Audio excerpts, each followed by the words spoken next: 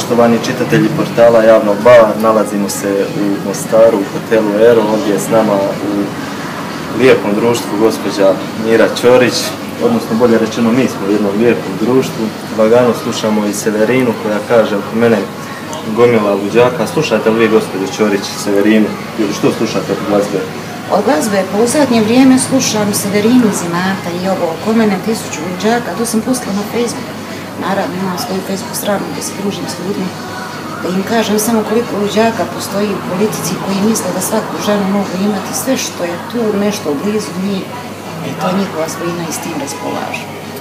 Evo da naše čitatelje približimo ukratko za one koji eventualno ne znaju za gospođu Ćorić, ona je posljednjih dana medijski bila dosta popularna, da to tako kažemo, za neke u pozitivnom svijetu, za neke u negativnom, u jednoj od par akcija SIPE, završila je na njihovom saslušanju, završila je u tužiteljstvu, u ulozi svjedoka, jer kako je to bilo, to je za javnost dosta onako nepoznato, zašto su vas uopće prigodili u ovoj akciji koju nazivaju službeno Budimir i ostali. Ovako, ja mislim da nisu načisto ni u tužiteljstvu, ni u sudstvu, ni u SIP-u, u kom svojstvu su privedeni. U jednom trenutku sam bila osumnječena, u drugom trenutku sam bila u svojstvu svjedoka, na koncu više nisu znali u kom sam svojstvu. Da, e, možda će s vremenom ipak doznati. Uglavnom, evo, mi bi vas željeli zamoliti, ako je to moguće, ako vi želite ići toliko daleko, pa reći e, što je se konkretno gore događalo prilikom vašeg boravka, što su vam rekli, što ste vi njima rekli, a ovako ukratko svojim riječima da nam prepričam. Pa krenut ćemo od samog mog uhićenja. E, čini mi se da je juče gospodin Mikulić, ministar pravosuđa, dao izjavu, ako se ne varam. Da? Da je pozvan u tužiteljstvo. Zašto nisu pozvali mena je građanima ove države kao ja? Odnosno, zašto gospodin Mikulić nije priveden kao ja? Ako je trebalo dati izjavu. A ja sam dala izjavu, potpisala i izašla. Dakle, moje uhićenje je uslijedilo na poziv nepoznat broj, na mobitel. Ja se obično na takve brojeve ne javljam. Drago mi što sam se javila na taj broj. Baš drago. Miro, gdje ste? Kaže, na kući, gdje će biti? Neko zvoni na vrata, gospođa i momci sa maskama na glavi. Predstavljaju se da su i sipi i da imaju nalog sudski da mene, odnosno naredbu sudsku da mene privedu. Ja sam to tražila i oni su mi dali, vidjela sam. Imali su nalog za pretres, tražila sam, dobila sam, vidjela sam. Onda sam ja kao i svaki normalan građanin i volila bih da ovo građani zapamte kada neko pozvoni pokuca na vrata, nemojte se bojati. Vaše pravo je zapisati broj njegove iskaznice, ime i prezme tražite tražiti da se potpiše. Da znate ko vam ulazi u kuću. Nakon toga sam rekao momci, djevojte, izvolite. Što se dalje događalo? Pretresli su moj stan u kojem ja sad ne mogu, nažalost, boraviti. Jer kad e, zakoračim u stan u kojem živim, dužem povraćati od samih vraćanja na, na te nemile scene, mada su ljudi sipe i dežurna isljednica ili inspektorica, kako se već zove, gospođa Jasmina, kojoj se stvarno, kojoj se stvarno želim zahvaliti na njenoj korektnosti, na korektnosti svih tih momaka, ali nije bilo potrebe blokirati moje naselje, plašiti moje sugrađane, moje susjede, nije bilo nikakve potrebe. Dakle, oni su sve pretresli. Da, to su bile scene kao da bar to sama Bin Laden, a ne Mira Ćorić, pa njega love. A Bin Ladena su barem tražili zrak, nekakvim infracrvenim svjetlima i zrakama, koliko se ja u to razumijem, Mene čovječe došli sa nekim drugim cijevima koje mene nisu uplašile. Jer sam invalid domovinskog rata, 80% prema tome, ni duge, ni kratke cijevi, ni VBR, ni tank. pa ne može to mene uplašiti, pogotovo ne neki mali, sitni ljudi, malodušnici koji pokušavaju izgraditi karijeru na nesreći drugih. Možda je razlog samog vašeg uključenja i spoznaja da ste odnedavno član nove političke stranke u Bosni i Hercegovini, stranke Pravda i povjerenja gospodina Budimira. Koliko je i to moglo igrati ulogu? Pa mislim da igra, igra veoma veliku ulogu zato što sam recimo za njih bila minus do tad. odjednom sam im postala poznata, odjednom sam im postala jako važna. E, čak su i spiskove od mene uzeli sve što je vezano za stranku, to je pokupljeno i odnešeno u sud. Naravno, ja ću zvati u ponedjeljak da vidim što je sa mojim laptopom, mojim mobitelom i mojim stvarima iz stana privatnim glednih koji su mi otuđeni, odnosno izuzeti kao navodni neki dokaz i počnu vidjeti. Hoće to vratiti. Možete li nam reći imali u svim tim spisima možda bilo što vezano za mito, za korupciju, za sve ovo što se spočitava gospodinu Budimiru i ostalim uhićenim u akciji SIPE? Imaju moje kartice, bankovni računi, koji su svi naravno čisti. Zamolila sam gospodina tužitelja da predloži sudcu samo da mi ovaj, nadoknadi onaj dozvoljeni minus od 300 maraka na Hipo Alka Adria Bank. To mogu naći ništa drugo. Hipo Alka Adria Bank, oni su isto aktualni sad, ne plaši vas što su vam računi tamo kod njih. Kako će me plašiti da i Bog do zatvore, nestalo biti 300 maraka minus. Da, dobro je da se mi vratimo na sam slučaj, na vaš boravak u tužiteljstvu Bosne i Hercegovine. Možete nam nekako pričati te događaje Pa evo ga, ajdemo biti korektni prema vama i prema ljudima koji su bili gore. Ja sam najprije privedena u SIP. U SIP su ljudi uradili korektno i profesionalno svoj dio posla, završili svoj dio posla. Dežurni tušitelj je bio sa njim, samo da pročitam, ne mogu se sjetiti prezimena, će da mi je minus. Sanjin e, Bogunić, gospodin Sanjin Bogunić, kojeg ću ja naravno tužiti zbog neprofesionalnog ponašanja. Ne da se inatim državi, ne da se inatim njemu, nego samo da pokaže narodu da postoji pravda, da postoji nečije ponašanje koje je profesionalno i normalno i treba ga raditi, svako treba raditi svoj posao, a ne na način kad je mene vidio da kaže aha, ti si ta mira koje smo se mi nagledali i naslušali. Gospodine Sajnu, nesigurno ovo gledate, e sad vam ja opet poručujem kao što sam vam i u Sipi rekla, tek sad ćete me se, ali vi, nagledati i naslušati. da ili netko drugi može doživjeti kao svoje vrste prijetne. Nije vas toga strah? Apsolutno ne, ja njemu ne prijetim jer je on prijetio meni, on je bio nasilan prema meni, nekorektan neprofesionalan prema meni. Ja njemu uopće ne prijetim. Ja sam njemu čak i dobar prijatelj, jer ga ovim putem obavještavam da ću ga tužiti. Da. da si nađe odjetnika na vrijeme. Da, kakvi su svi ostali bili prema vama prilikom ovog učićenja? Jako korektno jako korektni.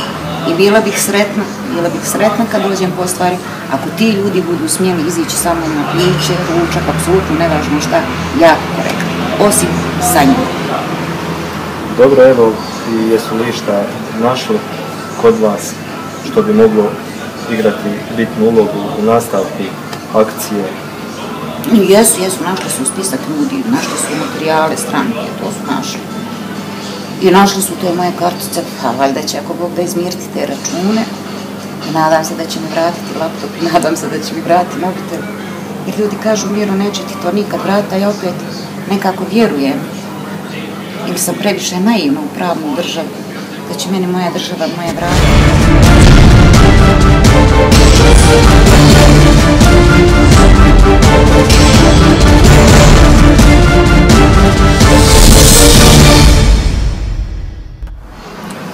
Vas pitam, evo, za gospodina Olega Čavku, tužitelja, što vam je on rekao kada ste bili gore kod njega? Oleg Čavka je jako korektan čovjek. Prema meni korektan, prema drugima možda nekorektan. Možda nesvjesno ili svjesno odražuje neki prljav posao za neke ljude. Ne znam, ne bih želela ulaziti u to. Ovo sve me podsjeća na film Paladolin. O tome ćemo poslije.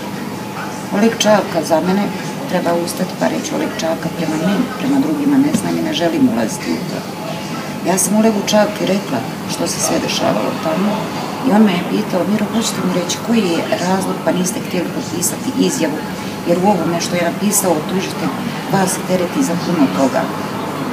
Ja sam mu rekla, nisam htjela potpisati iz jednog jedinog razloga, njegovog nasilničkog ponašanja prema meni i zabrane dovođena je liječnika jer je bio uključen u moju invalidnost. Ponijela sam nalaze, bio je uključen u terapiju koju ja moram redovito uzimati da bih mogla funkcionirati. Na što je on rekao, poslije, to poslije nikad nije došlo i nije dobio liječnika i to mi gospodin Čaka potpisao sasvim korektno, bez ikakvih problema. E, nadalje što želim reći za Olega Čaku, da je profesionalac, zna raditi svoj posao. I je sve isto, ja rekla i sa njim, samo da je sa njim bio čovjek. Čovjek. A ne služio se metodama udbe ili staljinističkim metodama, što sam joj rekla u Sipi. Ja sam mu rekla, gospodine Sanjine, samo ne možete udbaški i staljinističkim metodama mira ih davno uključili na političkim naukama i novinarstvu. Kod mene to ne pali, kod mene pali samo čovjek i ništa više. Dobro, evo kad kažete svašta nešto su vam misli staviti na teret to što ste odbili potpisati, a što su tražili da potpišete, možete nam reći što je to sve nešto što vam je stavljeno na teret? To sve što je stavljeno na teret bilo je vezano za Živka Budimira, a navodno sam dovedena u svojstvu ili svjedoka ili sudionika, optuženika, nemam pojma, e, Petra Barišića kojeg ne smatram čovjekom. Zašto? Godinama ga poznajem i mislim da vam je dovoljno to što nikad nisam popila kao s njim. Za kakvog ga čovjeka smatra. Ne znači titula ništa, čin ne znači ništa. Obrazovanje ne znači ništa, znači čovjek i ne čovjek, on nije čovjek. Čudno malo ovako zvuči, s obzirom da kažete da ste dobri s gospodinom Budimirom, da njega jako poštujete, cijenite, a Barišića koji je jedan od njegovih prvih suradnika, njegov savjetnik, dajete poprečno mišljenje, jedno skroz drugačije mišljenje. A, ja cijenim ljude po njihovoj osobnosti, na moje mišljenje u vašem profesionalizmu ne može utjecati niko, možete samo vi. Dakle, Živko Budimir, predsjednik federacije, je sam birao svoje predsjednike. I mi, savjetnik, i nisam vam slučajno rekla da na ovo sve podsjeća na Padolinu. Pokazat će se vremenom je Mira bila u pravu ili nije. Da, u, kod nas se sigurno neće snimati film Pad Olimpa, ali s vremenom tko zna u ovom slučaju, pa i možda nekim drugim slučajima se budu i filmovi snimali. Je li moguće nešto tako? Zašto ne? U jedno vrijeme u Sipi sam onako šalila se sa ljudima i rekla ljudi moji, pa ja imam dar za pisat toliko toga sam u životu napisala, pa bio bi dobar jedan scenarij za jedan film ovaj, o demokraciji, pitali su me o kojoj demokraciji mira, ja kažem o demokraciji balkanskoj ili demokracija pojedinca na dijelu. Bilo bi dobro. Da, ima dosta onih koji su cijeli ovaj slučaj protumačili na način da je sve to izvedeno iz razloga da bi došlo do rekonstrukcije vlasti u Federaciji Bosne i Hercegovine, pa dijelite li jedno takvo mišljenje koliko to može e, piti vode u ovom slučaju? U ovom slučaju to ne može piti vode. Ne samo ja, nego ovaj, recimo doktor Zdravko Tomac vam je poznat. Poznato vam je kao imeni da su u početku, on nije slagao sa Živkom Budimirom, predsjednikom federacije i da je puno puta istupao ovaj, u velikim kritikama prema njegovom radu. Ako da, jedan autoritet, a ako jedan autoritet kao Zdravko Tolmac kaže da je ovo politički montiran proces, a ja se u odnosu na Tomca smatram političkim analfabetom, nemam razloga da mi ne vjerujem. Slažem se s njim. Da, Tomac je, ba što se njega tiče i posljednji njegovog medijskog istupa kod kolege Bojanca u TV Bujici rekao da je ovo sve zapravo iz nekih drugih centara moći, jako dobro osmišljeno, udar na Živka Budimira, na Hrvate u Bosni i Hercegovini prije svega, na one koji ne misle kao oni koji su protiv Živka Budimira i njegovih najbližih suradnika. Istina, čitala sam to i pratim i mislim da je ovo jako dobro smišljeno. Ne radi se samo o smjeni i sklanjanju Živka Budimira kao čovjeka, kao persone koji je jako vrijedan kao čovjek i treba ustati kad se njegovo ime spomene što se tiče poštenja. E, mislim da se tu radi o koliko analitički mogu sagledati sad u ovakvom stanju kakvom jesam. da se tu e, radi kako bi se i utjecalo na SDA, kako bi se i u SDA puno toga promijenilo, kako bi se zastrašilo i SDA. Nije u pitanju samo Živko Budimir, u pitanju budućnost ove države ljudi moji razmišljamo li na takav način. U utorak ako dođe do rekonstrukcije vlasti, onda ćemo vidjeti šta smo dobili. A što se tiče jučerašnje presude, to ste me malo prije pitali pa sam vam ostala dužna odgovor. E, ja nisam neki preoptimista, ali ako imate slučaj koji se ne temelji ni na čemu, nego na babskim pričama čula kazala, imali smo informaciju da je za neki 40 tisuća maraka, pa je onda to palo na 5600 maraka. O čemu pričam? O kojim argumentima mi razgovaramo? To je jedna stvar. Druga stvar, Oleg Čavka kaže da je kod Budimira u uredu nađeno 5600, pa onda 5800 maraka. Ja vas sad kao običan građanin pitam, kakva je to država ako njen predsjednik u svom sefu ima samo 5600 maraka za izvanredne troškove ili putovanje? Očito je država u krizi, ali to je za neku drugu temu. Ne bi se ovom prilikom svim time bavili, nego evo, kad ste spomenuli samo učerašnju presudu, što mislite, hoće li gospodin Budimir zbilja ostati do kraja u pritvoru, može li se nešto promijeniti na Ustavnom sudu sljedećeg tjedna? Pa znate što se može promijeniti? E, napravili su greške u koracima. E, temeljili su e, optužbu na imenu predsjednika federacije Žika Budimira. Onda su to proširili malo dalje, pa je to otišlo na njihove ljude koji se nalaze u Živkovoj blizini. Tako za njihove ljude ima dokaza, za Živkove nema i za Živka nema. E sad se treba, zaklili su se kao pile u kućinu, što bi rekao naš narod, ili mače u kućinu. E sad treba država naći načina kako se iščupati svega ovoga, a da tužiteljstvo ostane visoko. Tužiteljstvo da se poštuje, da ministar pravosuđa ostane ministar pravosuđa i da se poštuje i kako bi opet naš narod rekao da napravi situaciju svi vuci, siti i ovce na broju. Biće veoma teško, treba će im puno, puno mudroluka mislim da bi tu i Aristotel mogu imati posla. Zanimljivo, dobro. Evo, nagađa se da li je netko primio novac, gospodin Budimir, očito nije, ništa nije bar do sada dokazano. Sve su to ono što ste malo prije rekli, rekla, kazala. Znate li vi za njega ili za bilo od koga od ovih ljudi koji su u pritvoru da je primio bilo kakav novac i ako znate od koga? E, ne znam da li je primio i od koga je primio, međutim postoje špekulacije. E, dakle, bila sam nazočna, odnosno Sanjin mi je rekao da je Željka Čutura koja je bila privedena kadija, odnosno poslije mene i nakon pola sata puštena, samo sam ja ostavljena cijelu noć. Iz kog razloga ne znam, vjerojatno zato što smo se ja i Živko zbog stranke znali dnevno čuti po pet, šest puta, jako često smo se viđali vezano za stranku, što sam je rekla u tužiteljstvu. A pa ta Željka Čutura je rekla da je podigla 7000 maraka i predala ih Petru Barčiću. I kaže da je to potpisala. A to meni kaže da bi me uplašio dežurni državni tužitelj sa njim. A nije vas ošto uplašio s obzirom da ste nam rekli kakvo mišljenje imate o gospodinu Barišiću, ne želimo ništa loše o njemu reći, nego spominjemo vaše mišljenje koje ste sami naglasili za to gospodina.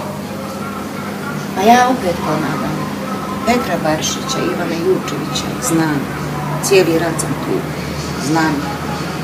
I nikad kavu nisam popila s njima, niti ima naga.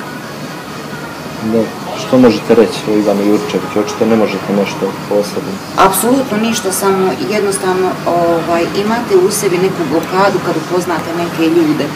Pogotovo kad se bavite poslom kojim se ja bavim, onda ocjenjujete profil ljudi. Hoćete, nećete, vi imate psihologiju. Četiri godine na političkim naukama imate psihologiju na novinarstvu.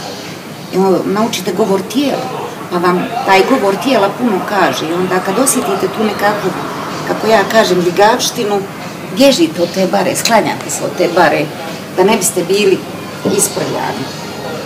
Ali evo, hoćete, nećete, nađe se neko ko vas želi isprljati. Da. Što dalje? Što dalje? Ja i dalje radim svoj posao, ja i dalje radim što se tiče stranke i ne znam zašto me ne pitate, ali postoje neke indikativne stvari. Indikativno je to što su novinari bili pred zgradom predsjedništva u Sarajevu više od pola sata prije dolaska Sipi. Indikativno je to što je Nervin Nikšić sazvao hitnu sjednicu vlade u Mostaru nakon šest mjeseci, ako ne i više.